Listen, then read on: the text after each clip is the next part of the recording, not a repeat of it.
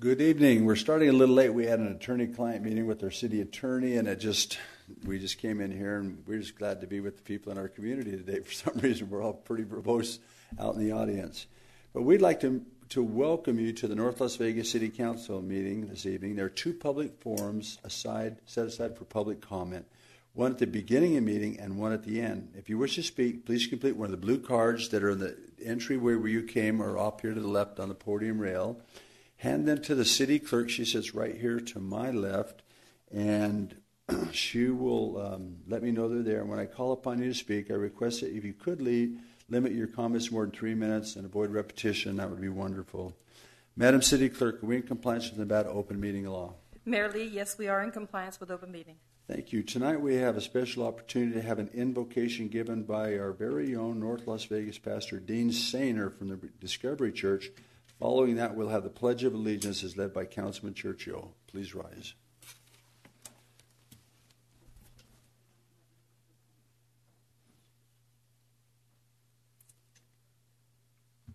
There it goes. Lord, we thank you today. We are privileged to be here among your people. And Lord, we pray, obviously, for, for wisdom for our city council. We thank you for the place that they've brought us from many years ago and to where we are now. Lord, we're cognizant of those who have struggled with this uh, virus and many who have lost their lives. We pray that your grace and peace would be with them.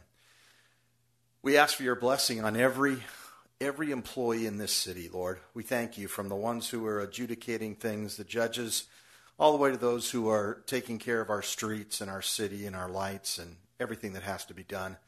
Lord, we thank you for leadership, and I just pray that our city council would have wisdom as they make decisions, that they would have discernment so that they would know how to make wise decisions and not be, uh, not be led astray. And Lord, today, we thank you for those that are going to be receiving commendations and those who have done so much for our city. They'll be recognized. We just ask for your continued blessing, direction, wisdom, and guidance on all of our leaders as we move forward. And we ask this in Jesus' name.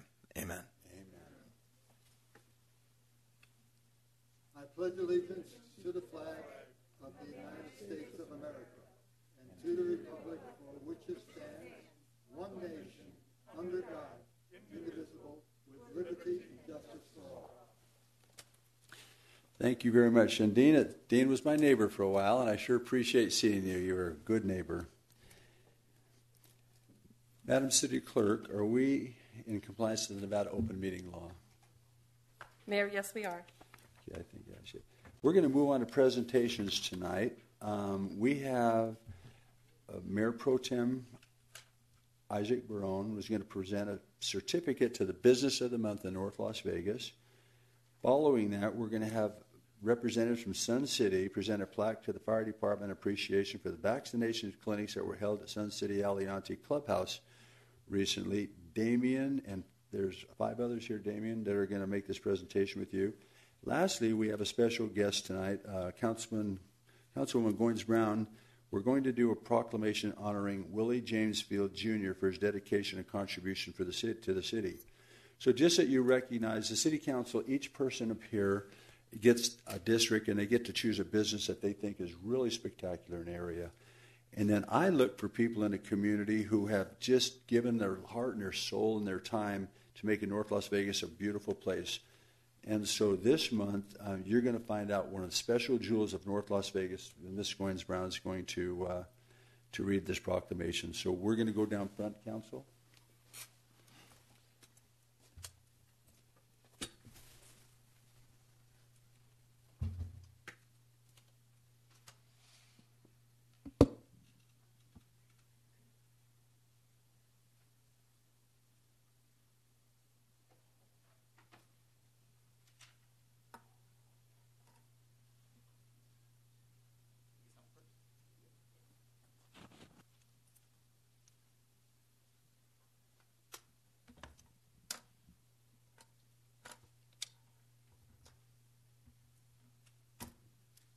Um, can we have uh, Dr. Mo?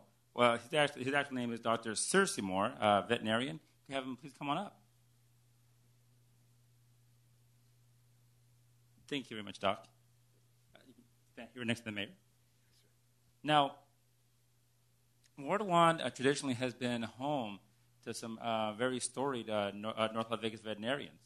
In the past, we, we used to have Dr. Hucks and Dr. Hicks uh, just down the street and around the corner here, over here at the uh, Carey Animal Clinic. I don't know if anyone remembers them. And then uh, the legendary Dr. Goldman around the corner here for the Civic Center uh, uh, Animal Hospital. Yeah, I remember them both pretty well. My son actually worked for, for, for Dr. Goldman there for a while.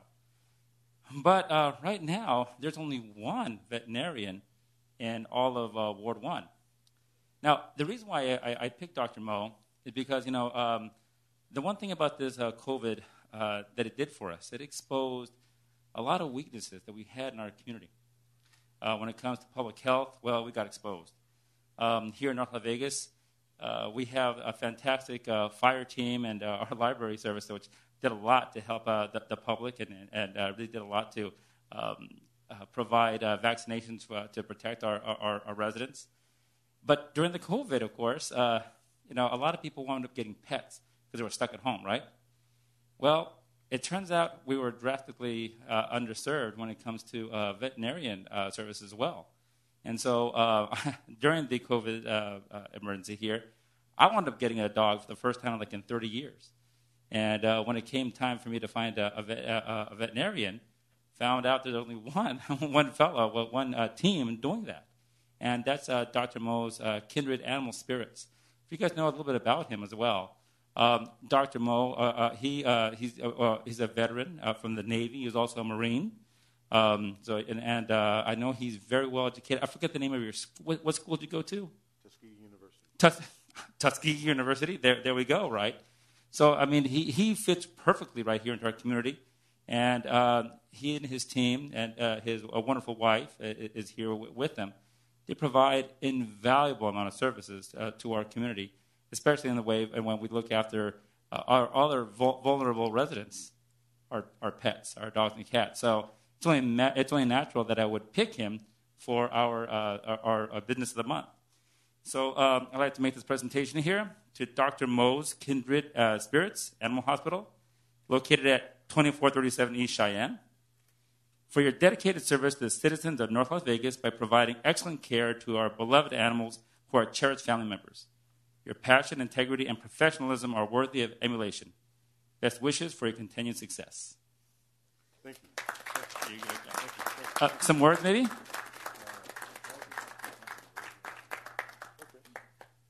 you like to come to the picture, Pat, or somebody can take this picture? we'll let him speak first, real quick.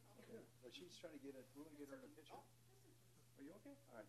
Well, first, I just want to first I just want to say thank you for the award and your recommendation, uh, the, this accolades.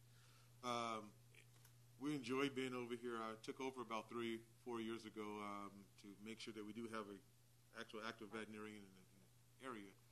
So Push your mic up a little bit. So one of the biggest things for me is just trying to make sure that we uh, serve the community, not just only get money, but kids come in, I ask them about class, make sure school's doing well, um, give them another person they can talk to, and also probably be a mentor for minority kids who don't see many doctors around.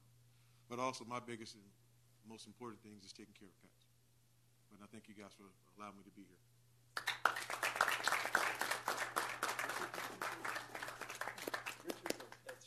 Okay. Uh, I'm the pets guy. Uh, uh, Pets and pets. Not pets and pets. And he's yeah. both. I, I don't, yeah. Congratulations and thank you for your service. Thank you, sir. Both the past service and the current service as well. Thank you. Yeah, uh, uh, our, our pets are, uh, I don't even know if we can call them pets. They're, they're part of our family. Uh, and, uh, you know, we look at them as our children and how important it is to have a, a good qualified veterinarian that we can call. I could, I could tell you that where I live, I have uh, our veterinarian numbers pasted all over the house, you know, so I don't forget exactly who to call when I need them. But uh, I appreciate your service and, uh, you know, glad to have you here tonight. Thank you, sir.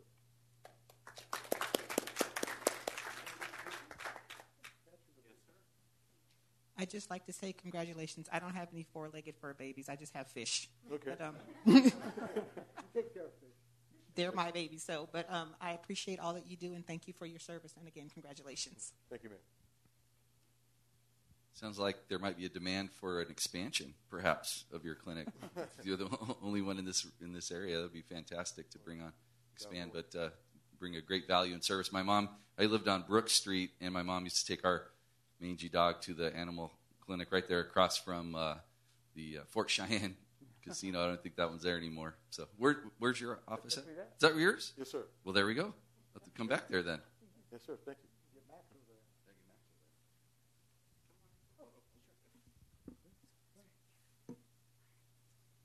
Take a couple with us and then a big camera. Here we go. One, two, and three. One, two, and three. I should have brought Paco in. Sure, yeah. Here we go. One, two, three. One, two, and three. Very nice. Thank you so much. Thank you again. Thanks, Doc. Thank you, sir. Appreciate it. Pleasure. My pleasure.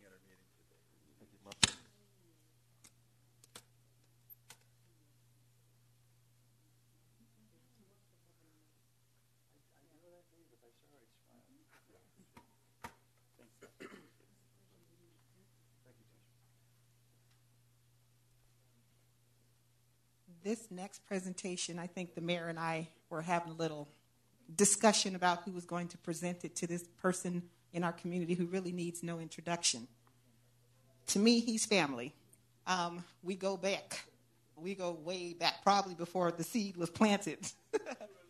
I was a little girl, and um, when the mayor says, Do you know who this is? And I said, Really?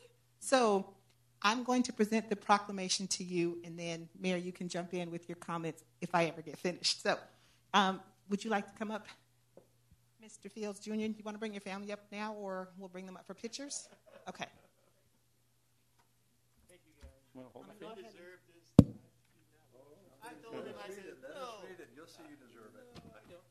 Just listen to all the acclamations, and you do deserve this. And it reads Whereas Willie James Fields Jr. began his community service by supporting the youth of North Las Vegas through sponsorship of Golden Gloves boxing teams, Little League baseball teams, and Pop Warner football teams. And whereas when he became a member of the North Las Vegas Lions Club 37 years ago, he represented the club in various government boards and projects that benefited the city. He also served as founding chairperson of the community health centers and helped the Department of Energy create jobs with the abatement of asbestos, asbestos and lead, from public buildings. And whereas his years of dedication to ensuring the well-being of our youth and furthering their interests did not go unnoticed, as he later was chosen chairman of the Department of Labor Youth Council, which trained youth people develop skills needed to help them transition to adulthood with successful careers. And whereas he became president of the North Las Vegas Chamber of Commerce, he created a high tech corridor and expanded the programs of the Community College of North Las Vegas by adding curriculums focused on training students for new technology, technology jobs. And whereas Willie J- James Fields Jr.'s exceptional leadership of his local Lions Club propelled him to becoming the first ever district governor of the Lions Club from North Las Vegas. He then formed a foundation that provided free eye care services to kids in the school district. And whereas, among all his many successes, he's, his most notable is that for over 44 years, he has been a reputable and dedicated businessman in our community.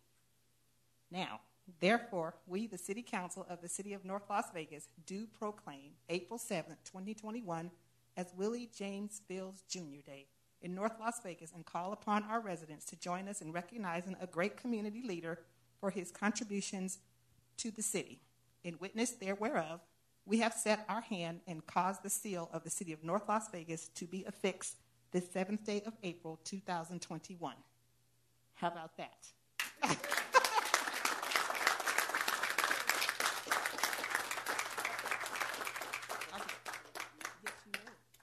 I don't deserve this. Uh, I'm a citizen of this great city of North Las Vegas, and reason being why I did all these things is because wherever I've been in the valley, I've had people say, "Oh, you couldn't give me a business in North Las Vegas. Oh, you never gave me to live in North Las Vegas." I said, Where are you from? The planet Mars? There's people live in North Las Vegas. When I was president of the Chamber of Commerce, we had the, the general from Nellis had a this I forget what it's called, but when a new recruit come into Nellis Air Force Base, on this document it says "State of North Las Vegas," and I go like, "See, so with that?"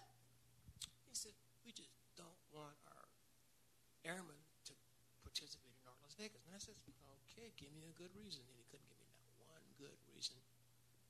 And it fired me up. When I said fired me up, I've always been a champion this community. My poor parents moved here in 1938 with the dam project. My grandma, she worked as a lady in the powder room, and my grandpa worked on the dam. And through that experience, when I got to Las Vegas, I knew everybody because, oh, you're so and so's grandson. I said, yeah, I am. He said, so what are you going to do? I said, I'm going to follow in their footsteps. You know where that statue is on the corner of uh, Carey and uh, Martin Luther King statue? My great uncle had a gas station there back in the day when that was the only place that African Americans could go get gas. And this was, they call it the Mississippi of the West. That was then.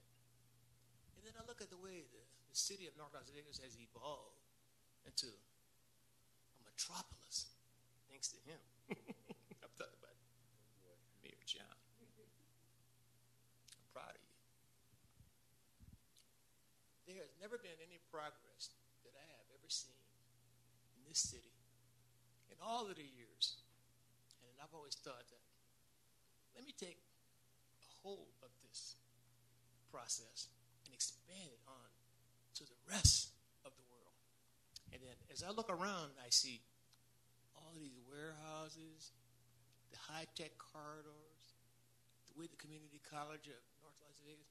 That sh- college should be named North Las Vegas College, like you propose. Mm-hmm. And I go on and on and on with my dreams of how this community should be. But in saying all of these things, I have my my oldest daughter and our two daughters here to represent me as family. And I told the rest of them to stay away. and so these are the principles of my life.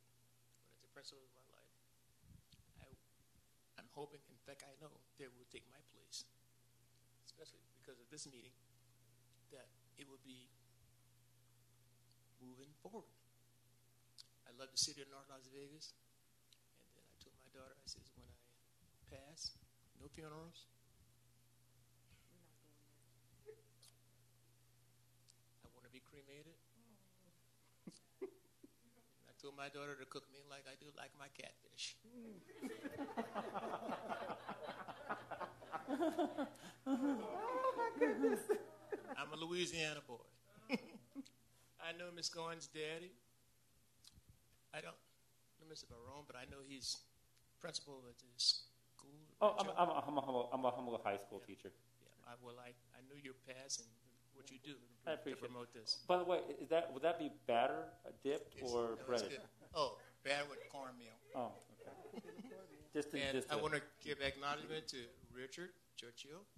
He and I serve uh, on the, the First Responders uh, Committee that will promote veterans, firemen, and the police. That's going on with the police these days, all cops are not bad. When I first come to North Las Vegas, I went. The first police chief that I knew of was Bill Thorpe. He passed a couple of months ago, he didn't tell me he was going to leave me. So I knocked on his door and I said, "I'd like to meet the police chief." He says, "So what's the problem?" I says, "My daddy told me when I moved to Dodge, I need to meet the sheriff." And then Bill Thorpe walks out, big old cowboy, and he said, so I understand you want to meet the police chief. I said, yeah, that way I can get along with you. and he said, okay. And then Tom Fay, I don't know if you all know Tom Fay, but I think he's got some sons here in the police department. We got to be great friends. You remember the uh, the 2000 proclamation that they had for through the Justice Department? You know, anyway, they gave money to have, have more police officers and so forth and so on. And I went to one of those functions, and he said to me, he says, "So why are you here?" I said, "I'm an activist." And he said, "What do you mean you're an activist?" I want security. My town. I don't want anybody to get shot or hurt because they don't know the police. And so I suggested that the police would, rather than do their routines, get out the cars and meet the people. And that way, when anything goes down wrong community, can say, "Oh, I know Lindy Lou, I know Bobby Joe, and we can go to and solve the problems." Anyway, that's my position with uh, this great city. And like I said earlier, I really don't deserve this. I'm just doing my part, and I wish the rest of the population would do the same. I really admire Mayor John Lee how he's brought the city back economically. Things that he has done, I could never done by myself. And so, let him run for another term.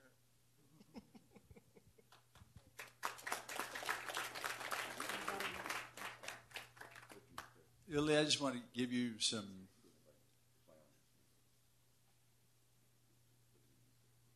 I just want to pay you some tribute. When I first was going to run for mayor, I had never. I was a state senator, state assembly. I did not know local governments. I probably didn't know very many people on the council even, and so I started to run for the position because North Las Vegas was going down the maelstrom, and you, you knew that, you know. And somebody said, "You go meet Willie Fields," and I said, Who's he? He goes, well, he's been in he's been in North Las Vegas for years. I go, I heard of like Mrs. Fields. I've been here my whole life too, but I've never heard of Willie Fields, you know. And so they sent me to this across the street from the swap meet, you know, and I go over there and I, and I look in the as I go in, I go, dude, there's a cat, there's a, a Corvette. I think it was a yellow Corvette at the time. And it's right there. I go, man, there's somebody out of town visiting here. Nobody has a Corvette in North Las Vegas. And I go in there and I'm talking to this guy. I go, whose Corvette is that? He goes, that's mine. I went, you got to be kidding me, man. You're the only guy I know in North Las Vegas owns a Corvette. Man, this is cool, you know. So I would like to tell the police if you see a yellow Corvette between here and the I-15, don't give him a ticket. It's Willie Fields Day, okay? but Willie, if you get up on the freeway and the highway patrol stop you, don't mention our names, you know. But you have turned into be a great symbol of North Las Vegas. We lost Joe Neal, who was in the legislature for many years, and Pam and I knew Joe, but we didn't know he was un- unwell. You know, and then we found out he passed. So we're looking to go and reach out to these mentors of ours of the past to to honor them and celebrate their lives with the service they've given to the city. Once again, Willie, and, and you were the first person that we're doing here today. So I just want to thank you so much for being a leader and an example and a kind human being. And we love you from North Las Vegas' heart. I remember the day I met you. Yeah, that was a, You, you told me what you just did. I know. Let the council say something. Uh, I, I can't agree more with what the mayor just said. You know, uh, Willie, uh, you know, we present, uh, you know, on occasion proclamations like this to very deserving people, but uh, y- you're at a, a special level when it comes to that. You know, my knowing you for the past several years, working with Laura and myself on the nonprofit, the military events, you know, uh, your your bar is way higher. So uh, I appreciate. I, a worker. uh, well, well, that's what it takes sometimes. It takes a dedicated worker with uh, very, very strong passions for the community, and you fit that bill. So thank you so much for all you do. It's, it's really a privilege for me to know you.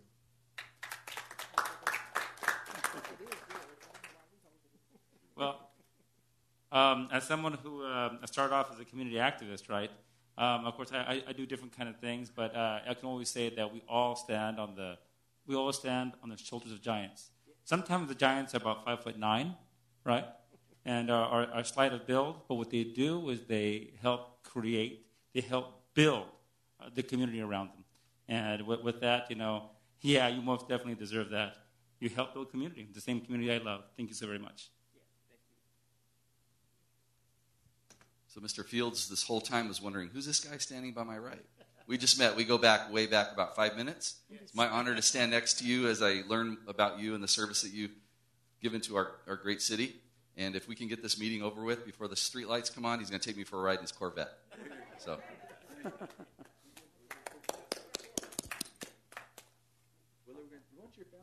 Yeah.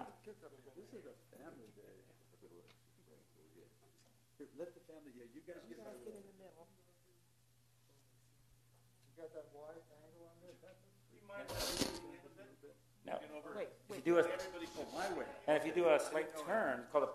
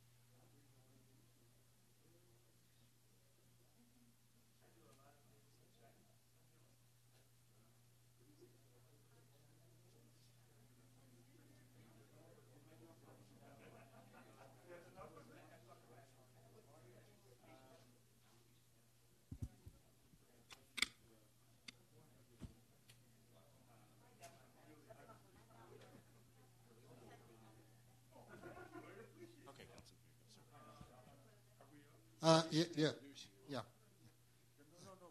Yeah, yeah, okay, come on up. Now, now, now we, we've had so many uh, proclamations and events over here today. Probably have to cancel the actual uh, council meeting, which is uh, okay. This is really more important anyway. Yeah, yeah, yeah. So uh, uh, I'm going to make this really short and sweet. Uh, I'm going to introduce uh, the president of uh, Sun City Aliante, Mr. Warren Geller. Thank you, thank you, thank you. I have with me several board members. To my right, Ed Sloman, who is vice president, and Sonia Bankston Cullen, who is a director on our board. And I'd like to take this opportunity to limit my comments to three minutes, being very sensitive to, you know. yeah. Well, good night. Thanks. No, that's fine, Willie. Uh, just for those who don't know, uh, Sun City Aliante is comprised of 2,028 homes and around 3,400 residents. We have with us today Damian Carrasco, our general manager, and Melanie Hernandez, our assistant general manager, and behind her, Debbie Kent. These are the prime people that make our community move.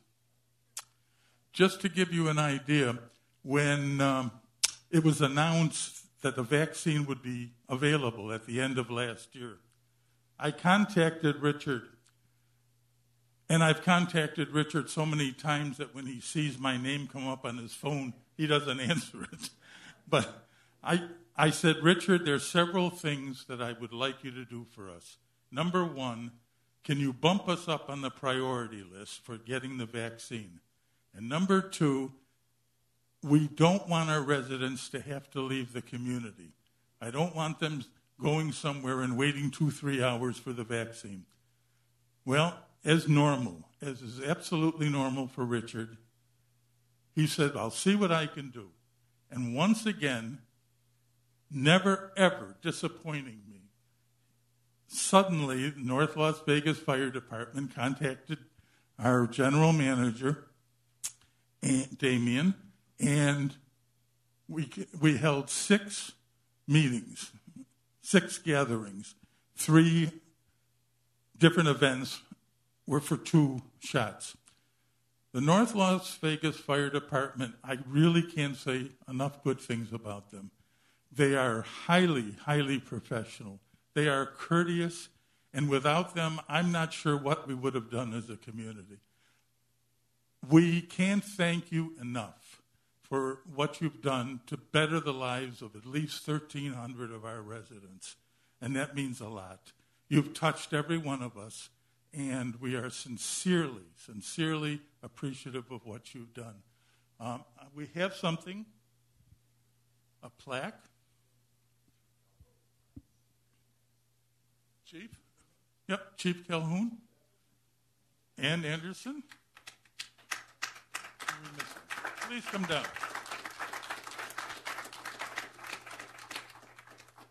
The plaque reads Thank you to the North Las Vegas Fire Department. Joseph D. Calhoun, Fire Chief, Travis Anderson, Deputy Chief, Frank Simone, EMS Coordinator, and Fernando Juarez, Healthcare Coordinator, for providing the COVID 19 vaccinations to the Sun City Aliante community. From the Sun City Aliante community and the Board of Directors, April 7, 2021.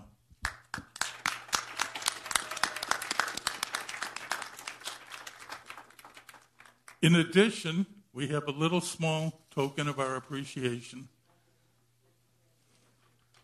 Gentlemen, you are an honor to your community. I now realize more than ever, and I've lived a good many years, what it means to have people run into danger instead of away from danger. And you took care of our people as if we were your own, and we are deeply, deeply appreciative. Thank you.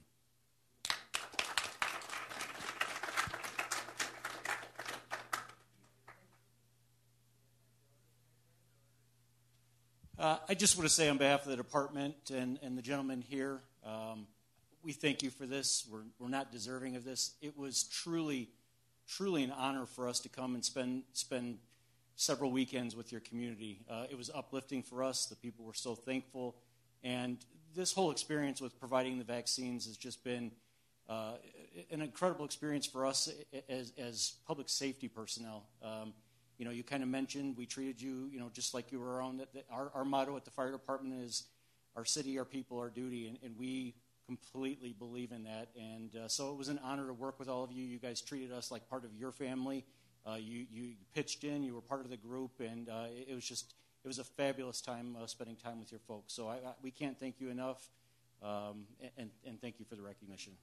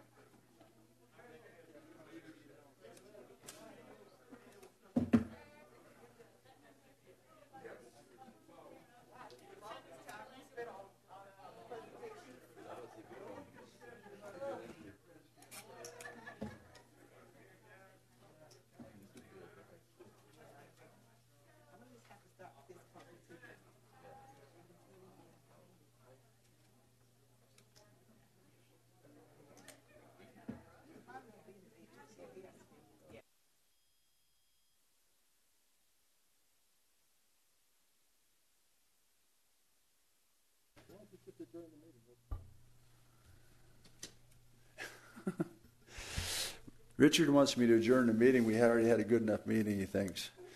But we better go on a little bit. So we're going to move on to council items. Mayor Pro Tem Barron? Uh, thank you very much, Mayor. Um, and it's um, like I said, it's, it's one of the things where we definitely stand on the on, on, on the shoulders of gi- giants. Got a whole bunch of things happening uh, all around town. Uh, of public interest, of course, we have a, a, a great uh, drive-through COVID-19 vaccination clinic in uh, the city of North Las Vegas uh, City Hall uh, parking lot this Saturday, April 10th, from 9 to 3 p.m. I, I don't know if it's too late to sign up, but I think they can still get on onto vaxnlv.com uh, to make a reservation, right? Thank you very much for concern. Thank you so very much. I'm happy you're here. Um, Mayor, uh, this pretty soon here on, on, on April 20th will be the 75th anniversary of our city. Our, police officers proudly wear that, that, that 1946 on, on, on, their, on their patch. And uh, our, our good friend, Ms. Jeanette Revere from Buscando Estrellas, will be doing, a, uh, of course, a celebration, uh, the annual Fiesta CNLV, on Tuesday, April uh, 20th from 5 to 7 p.m. here at the, at the North Bay City Hall courtyard. Um, of course, it's going to be socially distanced. It'll be small but tasteful, and we'll be celebrating, observing our 75th uh, year anniversary of our, uh, of our uh, city's existence. Pretty, pretty cool. Um, I, uh, uh, I, of course, I grew up. I, it seemed like uh, half the, the, the, the, fantastic times in my life were uh, around the corner here at the old City Hall with the adjoining uh, library. And I'm very happy to say that uh, our, our, my beloved North Las Vegas Library District is among 30 finalists for the 2021 National Medal for Museum and Library Service. And so we I wanted to give congrats to Director Forrest Lewis and entire library team on the nomination. And uh, by the way, uh, as the city manager pointed out to us, our, our fantastic library team was recently uh, featured on the news for their work, not just uh, working in library, but for de- delivering all sorts of services for our, our residents, you know, during this uh, time of pandemic. So uh, a big congratulations to them. Anyhow, the winners for this prestigious award will be announced in late spring, and so we're hoping our team wins the medal. Finally, um, you know, again, I, I, it's always astounding to see the quality of the people who work for our city, right? And uh, I wanted just to make a, a quick shout out to uh, to Tom Brady. No, not that Tom Brady. Our Tom Brady. You know, he our Tom Brady is much more handsome, right? And he doesn't wear Uggs. Um, the Nevada chapter of the American Public Works Association nominated our, our, uh, our director here, Tom Brady, for the top 10 Public Works Leaders of the Year award for the second year in a row. So if you're out there, Tom, congrats. Keep up the great work.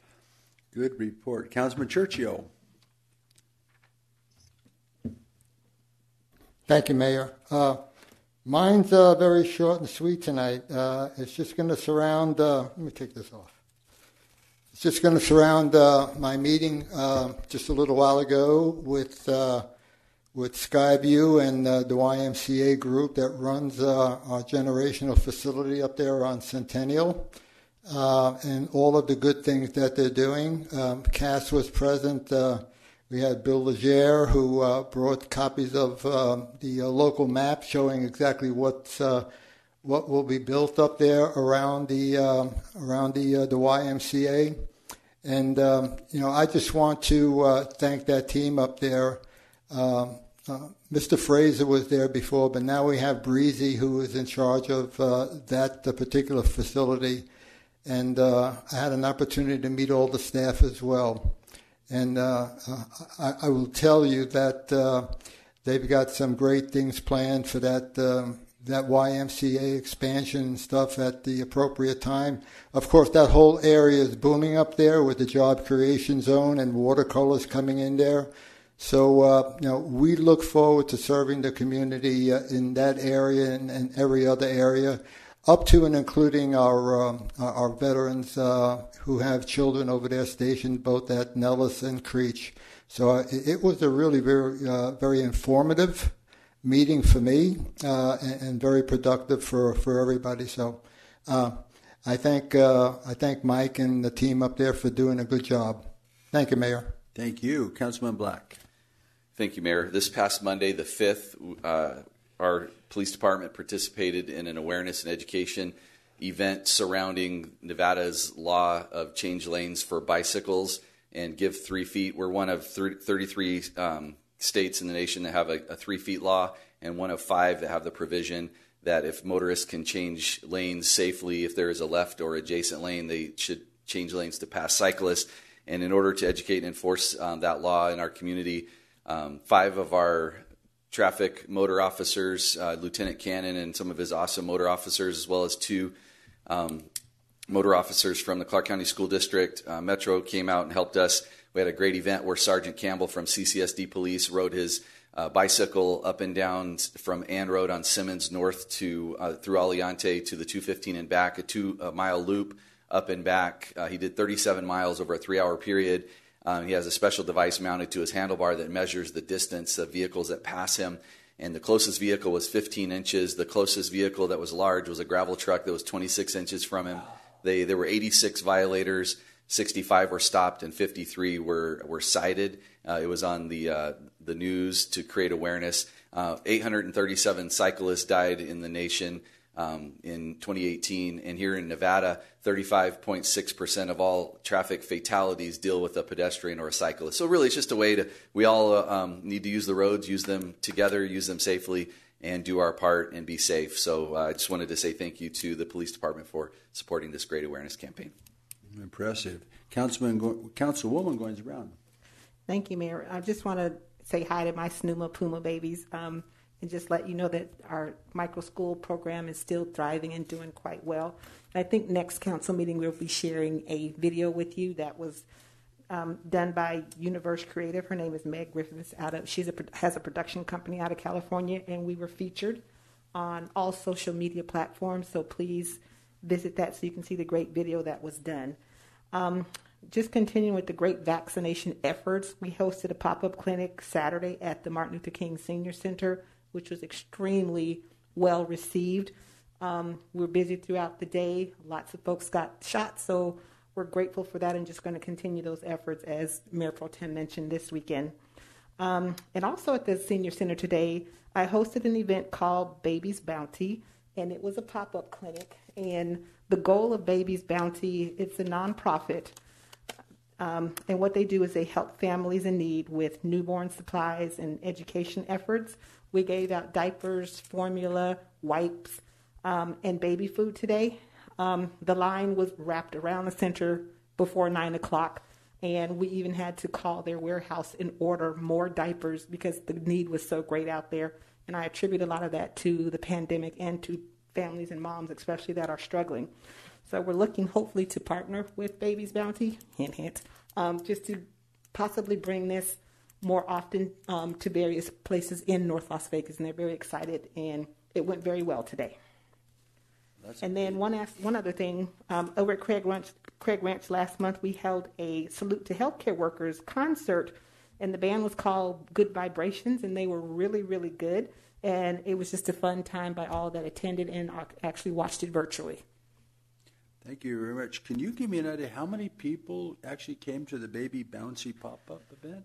we they don't have they didn't have the final numbers before I left today. Um, we had another organization that partnered today as well, and they brought over 350 bags of food for for families that had older kids.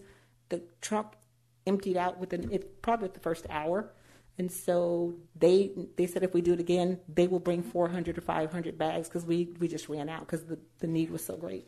Congratulations! You all worked so hard in your districts. I appreciate being in the council with you. Thank you. We're going to move on to the public forum. This is time set aside to comment on posted agenda items. If you want to speak on any item listed on the consent agenda, business or ordinances, introduction only, now is that time. Madam City Clerk, do we have any blue cards or post agenda items, written comments, or callers on the phone? Mayor Lee, we have no callers on the phone, and I did provide to council an email from George Arding about item 19, which is the CIP plan. Uh, uh, he specifically states that projects 10504 and 10553 would cause a major impact to the Aliante um, area, since both projects in the same year would impact north and south arteries. So that's all I have. There's no Thank callers you. on the line. I think Director Daffern is going to take care of that on, at the appropriate time. So if no one here in the audience coming forth, we're going to close the public forum and moving on to the agenda. Item one, approve city council regular meeting agenda for April seventh, twenty twenty-one. Mayor and council, it's our recommendation to approve the agenda as published. Thank you. Councilor, any comments or questions on the agenda? If not, the chair will take a motion. I'd like to make a motion to approve the city council agenda as published. We have a motion. Please cast your vote. Items approved. Moving on to the consent agenda. Mayor and council, the consent agenda consists of items two through sixteen. It's our recommendation to approve as published. Thank you. Once again, Council, any comments or questions? If not, the chair will take a motion to approve the consent agenda. Move to approve. We have a motion. Please cast your vote.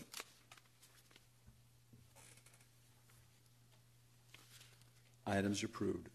Moving on to set public future hearing dates. Item number seventeen, set the date of any appeals filed or required public hearings from the city planning commission meetings. Thank you, Madam City Clerk. I so direct you to set hearing dates as necessary. Mayor, so noted. Moving on to business. Item number 18, presentation, discussion, and or action regarding the tentative budget for fiscal year 2021-2022 for possible action. Thank you, Director Harty.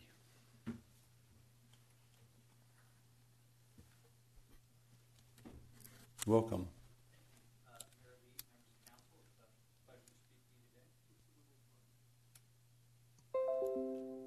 Perfect. Uh, Mayor Lee, members of council, I appreciate the opportunity to speak to you today. The purpose of my presentation is to give you an update regarding our progress on the fiscal year 2022 budget. Um, with your approval, we'll submit this tentative plan to the Department of Taxation as required by April 15th, which is next week. So, with that, uh, please remember that we'll be back next month to provide an, an update on the final budget. So, this is just tentative. Um, with that, I'll go ahead and uh, jump straight to the next slide, please. I'd like to highlight just a couple of things about the plan. First off, uh, total appropriations um, across all funds total $754 million. Now, last year it was 683, so there is an increase in this year's budget. Um, the plan covers salaries and benefits for 1,531 total FTEs, which again is an increase relative to last year. And uh, if adopted as presented, the ending fund balance is projected to be for the general fund um, $30.3 million at the fiscal year end of 2022, which represents uh, just under 15% funded status, which is about a two months worth of, uh, worth of, worth of reserves. Okay? Next slide, please. So in this slide, we just wanted to give you a side-by-side comparison of our projected 2021 relative to our fiscal year 2022 uh, tentative budget. As you can see, revenues are in line with prior year, uh, slightly increased, and those are based on inputs from uh, the Department of Taxation. Um, the increase in expenses is primarily due to uh, CIP projects, which cover uh, uh, much needed deferred capital maintenance projects and, and other items. Um, I also wanted to note that you'll see that there is a reduction in PILT as required. We are reducing PILT every year, but please know that we still are relying on a $20 million transfer for just general operations. Next slide, please. So here we just wanted to give you a graphical representation of the revenues for the general fund. As you can see, our largest source of uh, single source of income is, is of revenues, excuse me, is uh, a C tax, and second to that is licenses and permits. Between licensing, permits, and C tax, that makes up 66 or two thirds percent of our general fund revenues. Uh, next slide, please. Regarding the expenses, as you can see, by far the largest uh, thing that we spend our, our general fund dollars on is public safety. So public safety makes up 64% of our expenditures. The 22% in general government covers you know, human resources, finance, legal, all the support functions that, that make it possible to do what we do. With that, uh, I know this has been very brief. Again, this is still tentative. Uh, we just wanted to give you an opportunity to ask any questions or, or uh, resolve any concerns you have before we submit this next week. Thank you. Uh, just a question going back to page, where is it? I was looking at the C-Tax page. Um, Yes.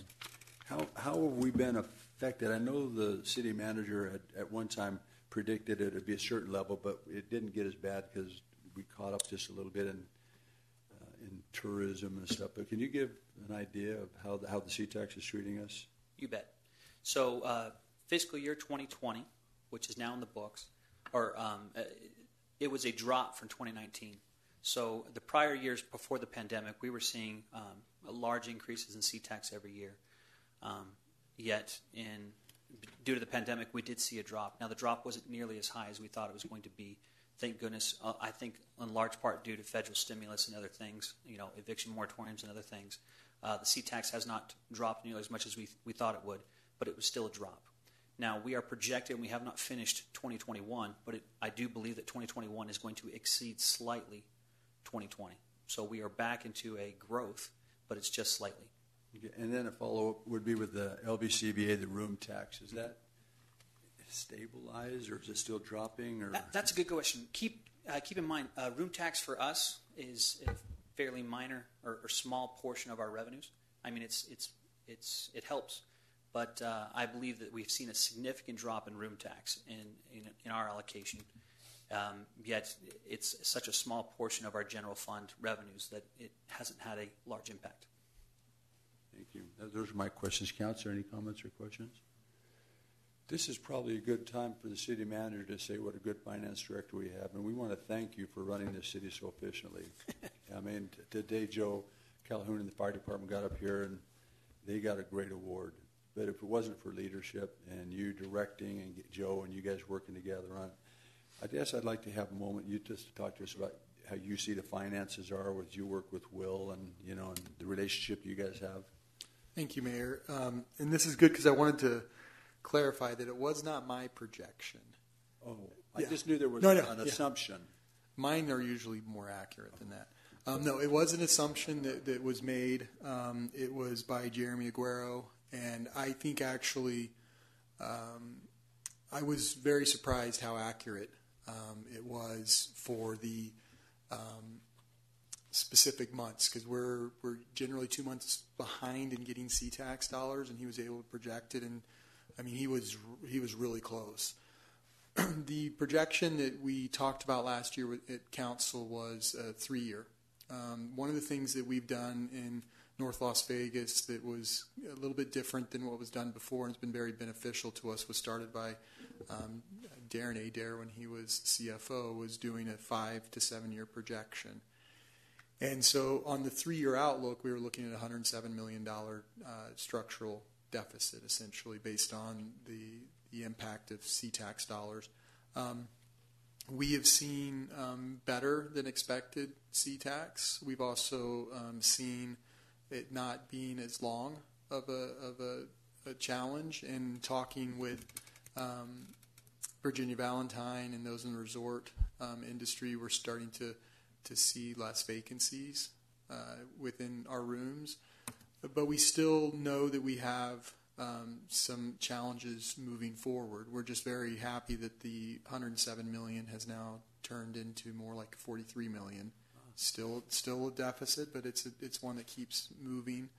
Um, I think that that Will's done a tremendous job, and his team they've done a tremendous job. This budget process is not an easy thing. Um, and it's a juggle that we have to, to do. And the uh, no doubt the action that was taken to freeze because um, we just didn't know what was going on. Uh, we we had no clue what was going on, so we froze all all um, capital expenditures last year. We froze hiring um, last year. Then through attrition, we were able to um, not fill in some of those positions, which meant that um, our employees had to do more with less, and our residents, um, you would have expected that they would have seen a reduction in services.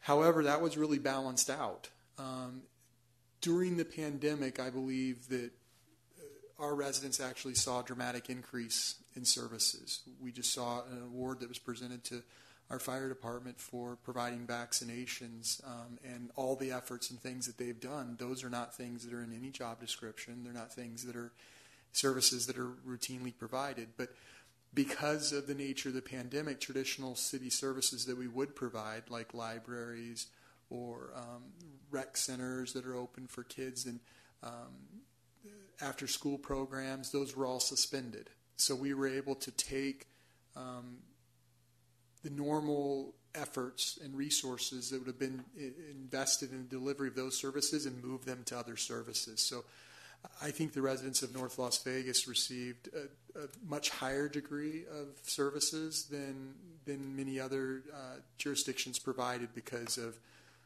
the efforts that, that were made by the finance team, by council, by management to quickly react.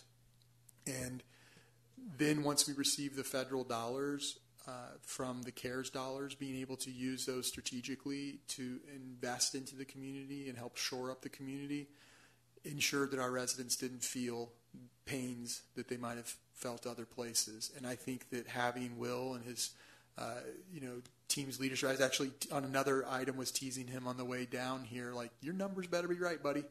Um, and they always are.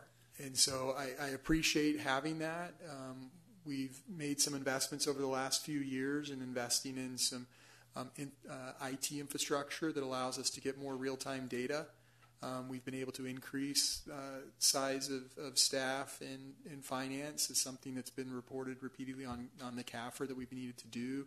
And Will continues to work with that staff as well our directors to get financial reporting back to him sooner so that we have a much a better finger on the pulse. And that finger on the pulse of the finances is in, inside a glove that is masked by a thick sweater but it's right there, finger directly on the pulse, and that's been very beneficial to us. So I just want to want to thank them for their efforts. Um, we did not think we would be in this position last year, but we also didn't think we would be in this position two years ago.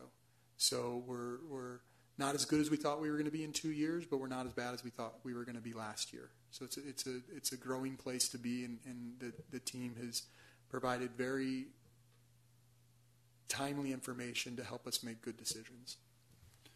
Thank you. Is anybody going to say anything nice about Will or just me? Yeah, yeah, no, Mayor. Um, again, um, we we always make the joke, you know, that um, if you need to get something done, you go to the quote bean, the bean counters first, right? Um, I, uh, I, I have come to uh, place a lot of trust. I think, you know, of course, with uh, his uh, predecessor there, Darren Adair which I, and I think that success that he brought to building this team that that, that now uh, that he's part of, it can it cannot be uh, misunderstood. If the I think if the public only knew um, the amount of, of, effort and uh, the, the, kind of things that uh, when uh, Mr. Adair came in and brought this um, new attitude where everything's scrutinized, where you know we, we go back and they have uh, gone back and scrutinized you know um, many uh, contracts and to make sure that the people who are partners in the community pay what they're supposed to the city with these audits, right? It's amazing, and uh, a, a, lot of the success again is attributed, as, as you say, to the actual uh, financial engine of our city. Which is, of course, you know, in this case, governed by you know our uh, our uh, the the, the accounting department. Um, you guys are doing a fantastic job, and thank you so very much. And um, I hope to be able to go to you and uh, vet a few other projects that I'd like to see in, in, the downtown. But it all comes from the very careful accounting of the public trust, you know, through your department. Thank you so very much. Councilman Cherchio. I don't think I have anything good to say. that, that was a setup by the mayor. Okay. But no, most definitely, most definitely. Uh, I, I, I, see just how you operate. I, I, see how thorough you are about the meetings we were at just a little while ago upstairs. Uh, you know, I appreciate just how hard, uh, you know, how hard an effort you put into this job, which is very, very difficult. You know, you, um, you and a lot of other people that are, I guess, technically behind the scenes, uh, make our decisions up here once every two weeks. Uh, uh, look easy or um, a lot better than what they could be if it wasn't for all of you. So truly, uh, I, I, thank you for what you do for the city and us. Councilman Black. I kind of like how Ryan put it. You know, two years ago we thought we might be in a better place now, but last year we thought we might be in a worse place. And I think it has a lot to do with, you know, there's some irony in that. I think that has a lot to do with the the diligence and the fiscal responsibility and attention to detail and the and the sacrifices. The decisions that have been made in recent years have been really filled with strategic sacrifice. And I, I think that you know we look at things outside of the pandemic. Um, you know, we look at our credit rating. We look at you know the in, in you know the improvements we've been able to make internally without um, you know overextending ourselves. And um, I just want to say that we have the will for success, both literally and figuratively. If that makes any sense. Councilwoman? I just don't know how you do it because you're always so very calm, cool, and collective. Maybe we just don't see that other side of you, but um, I appreciate that. And we're just a, a city of outside the box innovative thinkers, and it's truly a team effort. And to have a great leader such as yourself is just an additional asset to our North Las Vegas family. So thank you for all you for all you do. Thank you. Uh, Mayor and Council, I appreciate your kind words. Please know that uh, you have a great budgeting team that make your finance director look good, but really uh, Gary McDonald and the team, Justin and Michael, they do a fabulous job. And again, our accounting team is working really hard to make improvements. I really appreciate everything that Debbie Barton does and her team. So, really, you have a, a really hardworking, uh, intelligent, professional accounting and budgeting team. So, Thank you very much, and Thank thank you for the presentation. Very positive. Um, There'll be no motion on it, it was just a presentation. We also have another presentation, but I'll let council, I mean, the city manager bring that forward. Item number 19, presentation, discussion, and/or action regarding the proposed 2022-2026 capital improvement plan. Director Daffern, and this is going to be wonderful. Good afternoon, Mayor and Council. I don't know if I shut that off or on. Before I get started with the presentation, uh, once again, need to thank the directors and the chiefs for all the work on the plan. I think you know it's a team effort that puts something this big together. Um, also, I really need to thank Teresa Cochran and uh, Mike Hudgens for their hard work. They did all the heavy lifting. They did all the modeling on the plan and um, put all the numbers together for finance and budgeting. So, big thanks to those guys. Um, as you guys may recall, the um, the capital improvement plan is really a five-year plan that we re- that we redo every year. It's really a conglomeration of various funding sources that um, make up the plan. They're also for large capital improvement items like roads and bridges. They're also they're, we also uh, list the um, large capital items like fire engines and heavy equipment and machinery that we put in the plan. Once a project is selected for the plan, it's really prioritized on an as needed basis, and it obviously changes from year to year. The projects themselves, once the proponent um, puts a project forward, they have to forecast some of the revenues that go along with the plan. They also have to put together a timeline on when the project's going to be completed or the items purchased. Um, the, the proponent also has to do a little speculation on how the money is actually going to be spent throughout the program.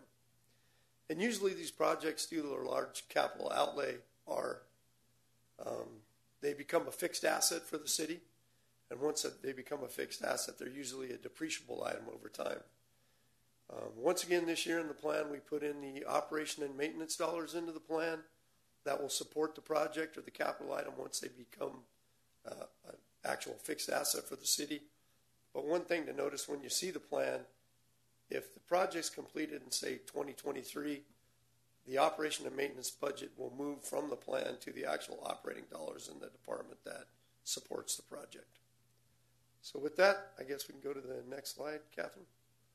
This year's plan is a five-year plan. Of course, it's uh, about $615 million with about 281 million to be spent in year one. Next slide, please. This slide really shows a nice bar graph of the last 16 years of five-year capital plans. And all the, though the plans kind of ebbed and flows over the years, if you look at the last six or seven years, you notice the plan's pretty consistent around the five to six hundred million dollar mark. Uh, next slide. Here's the annual breakdown of the five-year plan. You'll notice year one's about $281 million, as I mentioned earlier, and it uh, tapers off pretty quickly after that. But what I've noticed um, with the last 10 years or so of capital plans, we usually have a very aggressive first year, and we predict uh, some pretty pretty large expenditures in year one. But what really happens is time time frames slip a little bit. Sometimes the financial part of it moves, and this really dampens out over the years, so it's not quite as dramatic as it may seem right here. Um, next slide, please. This slide is really a breakdown of all the revenue sources that go into the plan. It's broken down by percentages. and it actually has every line item in the plan that is funded by either a fund or an outside revenue source.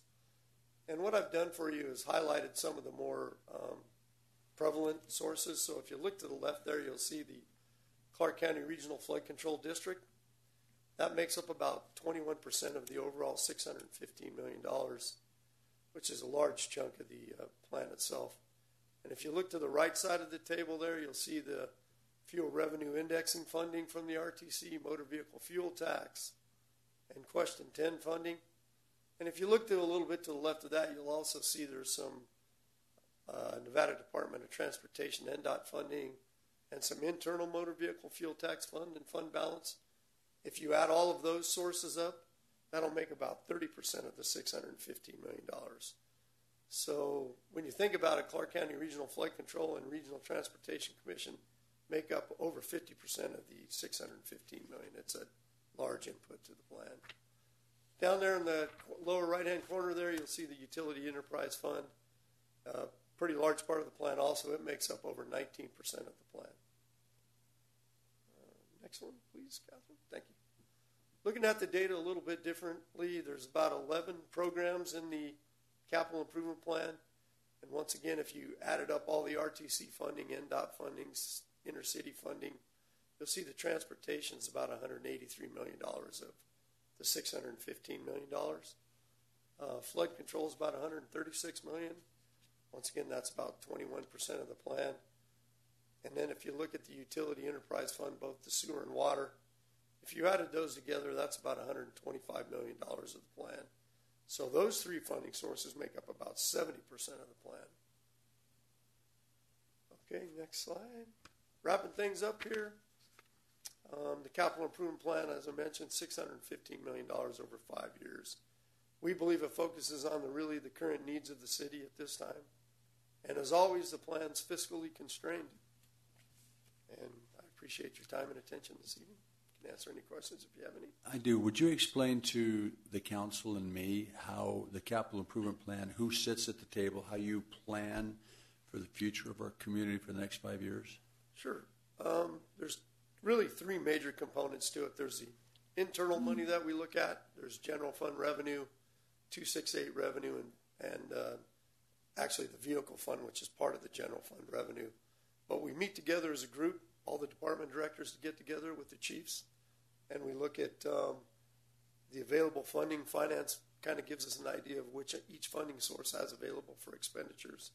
Probably more importantly, of what we need to keep in reserves and we get together and uh, discuss which project we think might be the most important to meet, you know, some of the strategic goals that the council has put together. The outside funding sources are a little different. Most of those are uh, fuel tax based. Um, the regional flood control, of course, is sales tax based. But the regional flood control is based on how many basins and how many um, drainage features we have in our jurisdiction and we get a percentage of the money based on what we think we can put forward each year. And we kind of balance that valley-wide, all the department directors, uh, Clark County, Henderson, and uh, City of Vegas, we get together as directors and try to look at the model with regional flood control and determine which projects we think are most important to move forward. And that really happens at the RTC level also, Mayor, that we meet with the RTC groups and all the directors get together and we look at um, how much money is available to spend from year to year. We put together a 10 year program for the Regional Transportation Commission, and then we have to move things uh, depending on what type of funding is available. Thank you. And I noticed the capital improvement plan, you put line by line what's going to happen, the, the whole plan is. So, Correct. Council, Yeah, you're you'll able to go actually through here and figure out what's in your district, what you can expect. That's exciting, you know, to track that for councilmen. Um, is anybody else have a question of the director? You'll actually receive a book on that too, Mayor, when, once we finalize the book. We'll, everybody Mayor, will just get a, just a copy. comment. Um, yeah, uh, sit, uh, no, since I, I sit out there uh, uh, on the uh, uh, on the RTC and of course the flood control committee, um, I'm always you know very grateful uh, that uh, we have these regional partners to help us with uh, the, the, these projects that really are you know you have to look at the at the as, as you say, Mayor, the 30,000 foot uh, uh, level.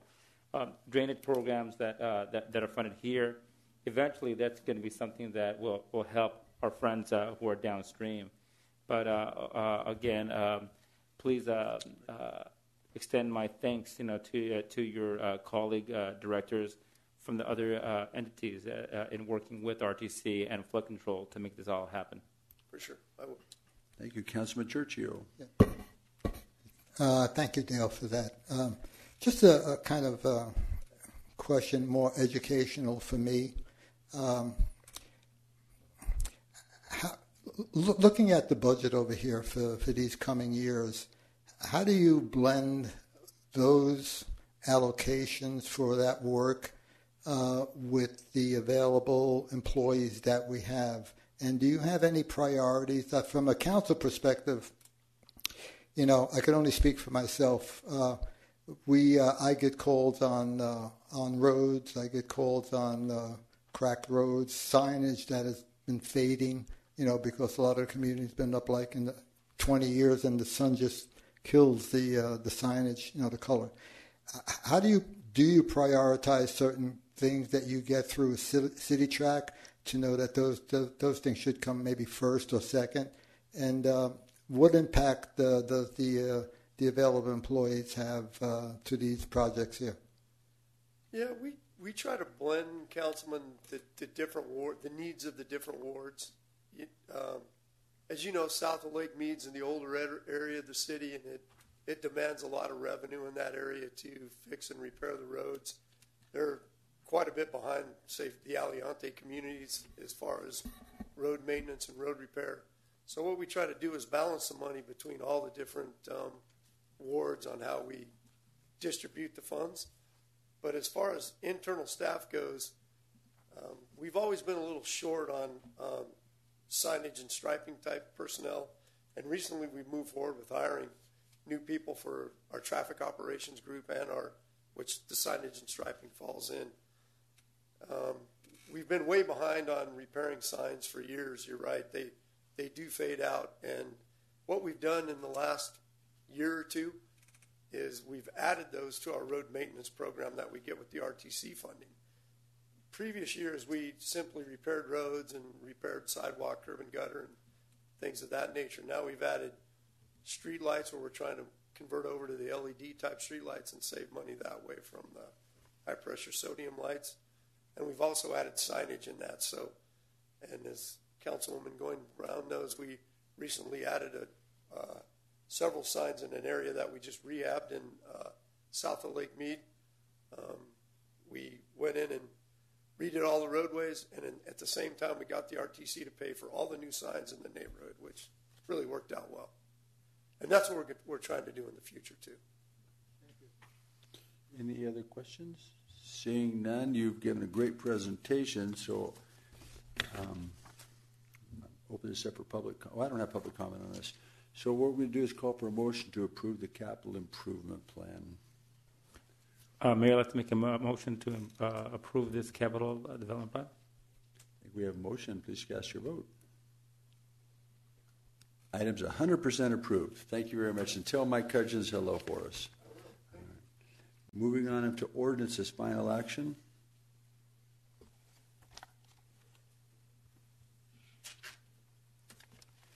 Mayor, item 20, pass and adopt ordinance number 3071, and ordinance to repeal and replace Chapter 8 of Title 2 of the North Las Vegas Municipal Code, and repeal ordinance numbers 885, 1472, 2059, 2495, 2573, 2620, 2687, 2739, 2721, 2790, and 2984 to update Chapter, Chapter 8 to be consistent with the city charter as submitted by Assembly Bill 50 in the 2019 Nevada legislative session and providing further matters properly relating thereto. Thank you. Ms. Rayner, would you want to explain a little bit about this? Yes, Mayor. So, Mayor and Council, currently Chapter 8 of Title 2 of the City Code contains odd number year election requirements that need to be updated to even year uh, election requirements. This ordinance, in fact, makes those changes. In addition to those changes, it provides the following it's updating the code to match city election processes with Clark County Election Department as a result of using vote centers and services provided via the city's interlocal contract with Clark County. It updates 2.08210 to provide a more equitable way of managing a tie vote at a primary election. Uh, and it also removes the requirement to pr- publish an election proclamation and instead publish notices as required by NAC and NRS. There is significant cost savings in not publishing the election proclamation as well as the legal notices in accordance to NAC and NRS. We published this in the past, we've published the same information pretty much three times, and so we would like to remove the proclamation requirement so we can save money. Lastly, this uh, ordinance will also update and add a precinct to Ward 1 and one to Ward 4 to be consistent with the precincts as defined by Clark County Election Department. And lastly, it repeals the previous ordinances. Thank you. So with that, uh, staff recommends council would approve this, pass and adopt this ordinance. Nope, thank you for that presentation. Councilor, any comments or questions? If not, the chair will take a motion. I'd like to make a motion to approve ordinance number 3071. We have a motion. Please cast your vote. It's unanimous. It's approved. Good job, Catherine. Moving on to ordinances, introduction only. Mayor, Council, item 21, introduce ordinance number 3067, an ordinance related to zoning, reclassifying approximately 2.37 plus or minus acres in the zoning map of North Las Vegas from a C1 neighborhood commercial district to a PUD, PID, planned unit development, planned infill development district, ZN 34 2020 Diamond Valley Active Adult Community for a 59 unit senior multifamily complex for property located west of Valley Drive, approximately 270 feet south of Craig Road, and providing for other matters properly related thereto. Item 22, introduce ordinance number 3068, an ordinance related to zoning, reclassifying approximately 39.41 plus or minus acres in the zoning map of North Las Vegas from an OL, open land district, to an M2, general industrial district, ZN01, 2021 Belt and Nellis for property located north of Belt Road between Clark County 215 and Union Pacific Railroad and providing for other matters properly related thereto. Item 23, introduce ordinance number 3069, an ordinance related to zoning, reclassifying approximately 8.87 plus or minus acres in the zoning map of North Las Vegas from an OL, open land district, to an M2 general industrial district, ZN02 2021, Tropical Speedway Commerce Center 2, for property located at the northwest corner of Tropical Parkway and Beesley Drive and providing for other matters property related thereto. And item 24, introduced ordinance number 3070, an ordinance related to zoning, reclassifying approximately 6.5 plus or minus acres in the zoning map of North Las Vegas from a C2 general commercial district to a PUD planned unit development district, ZN03 2021 Noble Peak, for a 70 lot single family attached subdivision for property located west of Scott Robinson Boulevard and approximately 581 feet north of Craig Road and providing for other matters properly related thereto. Thank you, Director Jordan. Moving on to City Manager's Report. Thank you, Mayor. I, I don't have anything else to add or report at this time. I was just going to, I, I wasn't sure if I was going to get an opportunity during the budget presentation, so I'm, I said what I wanted to say. Thank you. Well, I might add one question. Um, of course, the legislature is just about at halfway now, and I know we're monitoring that quite well. And I just, you know, we just had a census report, and then redistricting will come up and stuff like that. What, what are you, Will? I know you're in the back, but do we get the census dialed in where we agree with the numbers and and we're satisfied?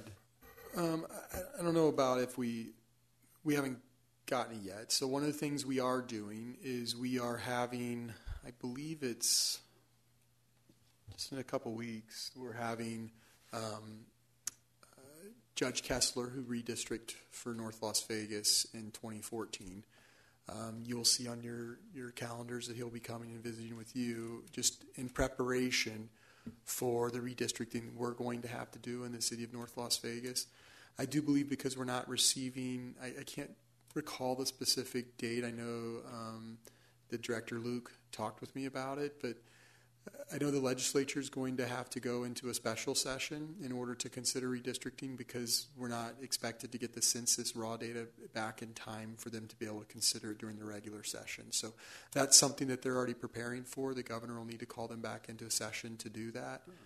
Um, if you recall the uh, maybe, but the current um, state lines that we have for our congressional districts as well as our assembly and state districts, they were actually created by a three-judge panel. So they, they the legislature last go around were unable to uh, to do this, and it was judicially created, which is why you don't see quite as much gerrymandering as you normally see. You also see nest, nesting within assembly districts or inside the Senate districts. So um, we'll have to see what they do at the state level. I know for our uh, purposes, we're not going to wait four years um, to redistrict. We're going to make sure that um, the wards are set and redistricted in time for the next election. You know, the way the growth is, I don't think the lines are going to move much. You know, what I mean, growth has just been straight up the hill, but it's very important, you know, that we have one man, one vote rule. So we're, when I got here, Ryan, they hadn't done it in four years, I think, or three years. So we, I'm glad you're on top of that. Um, yes, ma'am. So when they look at that, are they looking at current residential developments that are already in construction or future ones? Do they look at all of that as well?